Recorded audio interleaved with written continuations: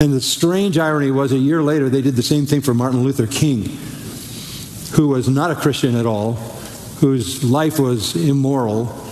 I'm not saying he didn't do some social good, and I've always been glad that he was a pacifist or he could have started a real revolution. Pastor MacArthur was asked a question during. Uh, they always have Q and A one of their Sundays at their church. So I'm gonna uh, let's play the question. That way you guys can hear the question uh, how he was asked, and then I'm gonna show you the response that uh, one of the social justice warriors ended up responding to this issue, and you'll be like, what is going on over here? Okay. 55 years of faithful ministry, okay? Leave Pastor MacArthur alone. So let's uh, listen in to the debacle. There's always something, but there's no there there. But you know, yeah. So let's listen. Yeah. So there, are- there are some major organizations that have been around for the last uh, at least 10 years. Uh, one was the Gospel Coalition. Started out with noble intent to bring different people together, leaders, pastors, theologians, uh, around the gospel. It was very much like T4G, Together for the Gospel, uh, that, that had that conference. We had as many as 10,000 people. I was a part of that uh, every year at these huge conventions, and it was Together for the Gospel. But um, both of those organizations, well, T4G is, is basically non existent. They, uh, they bought into the deceptiveness of the woke movement and the racial um, baiting that was going on a couple of years ago, and it literally put them out of existence. I was thinking the other day how interesting it was that the, the last panel discussion that I was on at a T4G event was, was to honor R.C. Sproul, who had died. And I, I spoke at his funeral. Uh, This was, I think, 2017 or 2018. Uh, so T, the T4G guys wanted to honor him uh, with a panel, and we, we spent an hour, an hour and 15 minutes. And it was just beautiful tributes to RC from all of us who knew him so very, very well. And the strange irony was a year later, they did the same thing for Martin Luther King who was not a Christian at all, whose life was immoral.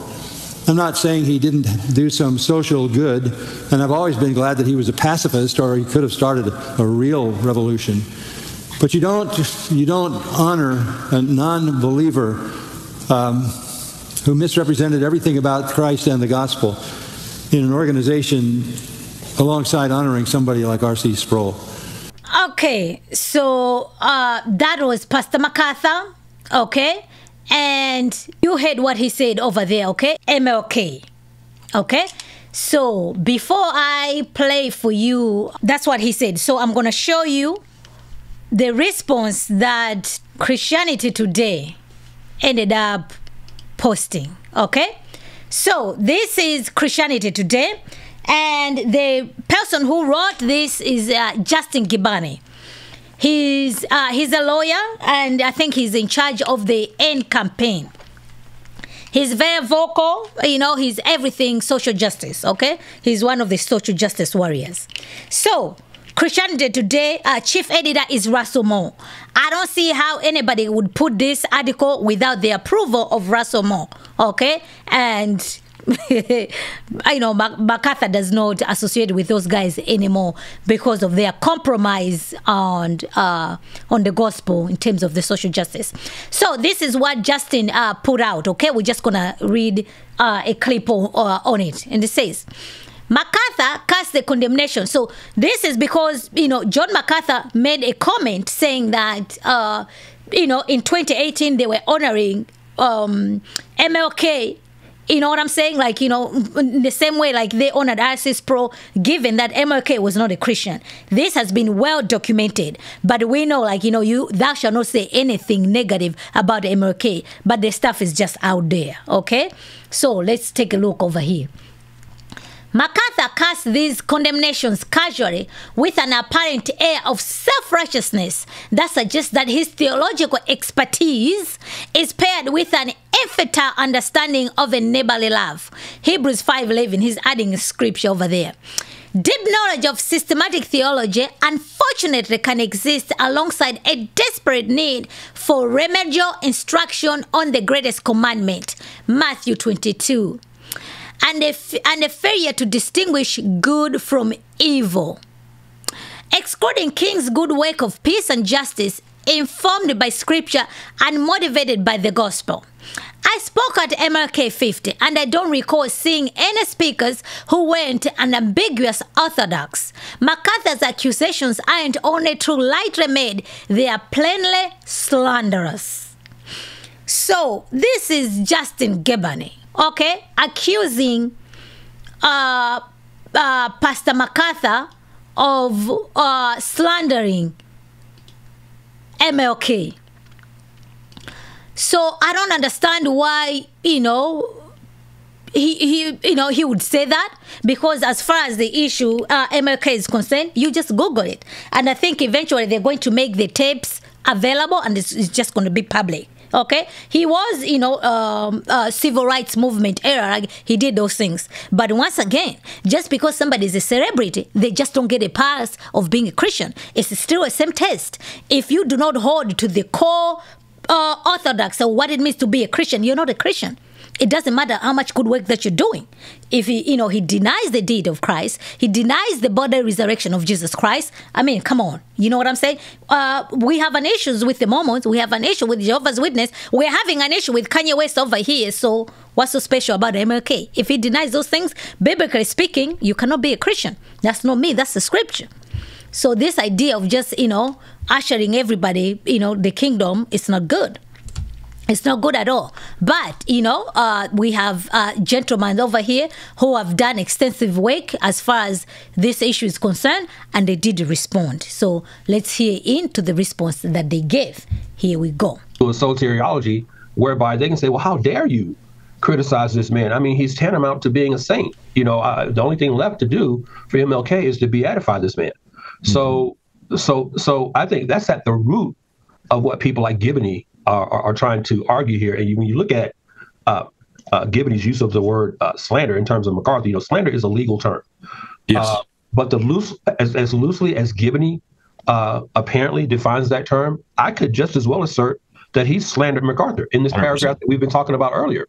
When he accuses MacArthur of having a uh, of number one of uh, of uh, casting these condemnations towards MLK casually uh, with an apparent air of self righteousness paired with an infantile understanding of neighborly love. Uh, and, and, and so he, he doubles down on the infantile understanding by saying, by suggesting that King uh, has a rudimentary understanding of these uh, biblical doctrines and principles.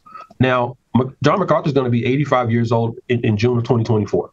I, I don't know how, Gib- how old Giboney is, but he's not 85. No. So the infant here is not John MacArthur. Okay, the infant, just chronologically speaking, the infant here is not John MacArthur. Let me just say that. But based on Giboney's construct of uh, of uh, uh, slander, um, I could just as easily argue that he slandered MacArthur here. But this this is the arrogance, this is the hubris of social justice warriors who who who think that they they are the only ones carrying the flag of what is right.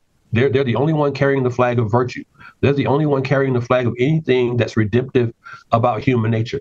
Um, and what I've found when it comes to MLK, it's always an emotional uh, reaction to even to objective criticism by people who pretty much see this man as some type of Moses figure that has yet to lead us out of yet another promised land. So so they can't they can't stand, they cannot tolerate even a modicum of objective critique. And when I say objective, I mean by uh, sources that are outside of my own opinion of the man. Right. This is where Virgil and I come in because we have written prof- extensively on MLK, citing sources outside of ourselves Yes. to establish and support our argument that that MLK was not a Christian in the biblical definition of the word. He was not even a uh, preacher in the biblical definition of the word. Mm-hmm. He wasn't a pastor in the biblical definition of the word. Mm-hmm. Anyone can stand up and be a good orator in a pulpit, and King was that. He was probably one of the most brilliantly gifted communicators of the mm-hmm. 20th century Yep. if, if not all of human history. So, but that doesn't make you a pastor. That doesn't make you a preacher. That makes you a good speaker. That makes you an orator. That may make you eloquent. Okay, but that doesn't make you theologically correct. So, there's a lot of, uh, really, I believe a, there's a, a forensic lens that we need to place upon ML King and look at this man in terms of what the Bible says, as opposed to, you know, whatever um, affinity for or appreciation for someone like uh, Gibbon might have, to where he gets all consternated uh, when someone like a John MacArthur uh, has the temerity to say that King was not a Christian. Um, I, I, would I would challenge him to look at King more objectively than he does now. Yes. There you have it. There you have it. So I was just like, well, there's people who've already done good work on this issue. And we just let them uh, respond. So I was just like, okay, you know, Gibbon, come on, man, you know, why are you creating you're making a big deal out of nothing. Things have been well documented beyond whatever John MacArthur said, other people have said it. I haven't seen no articles uh, in a Christianity Astray. I guess maybe that's why they, they took an offense because John MacArthur called it Christianity Astray. and people call it Christianity yesterday, Christianity Astray, whatever name you put it, because, you know, uh, it lost its flavor of, you know, standing on true, godly, uh, uh, principles. Uh, the situation with John MacArthur is concerned, but you know, what say you guys? Do you think there's there there? Okay, you know, I think he's just making a big deal out of nothing. There's nothing there. We should just what? Keep it moving, keep it moving, keep it moving. All right, guys. So that was uh, uh, John MacArthur being, according to Justin Gibbon, writing Christianity Today, claiming that John MacArthur slandered MLK. Do you think John MacArthur slandered MLK? I'm interested to know. Please leave me a comment. I want to see it in the chat.